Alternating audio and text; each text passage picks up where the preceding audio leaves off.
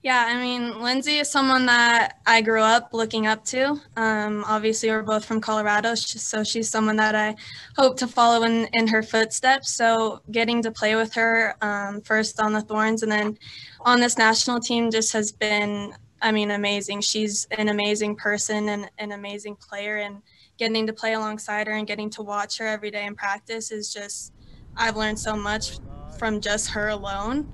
Um, she's always, you know, giving her her maximum effort every single day in practice, every game.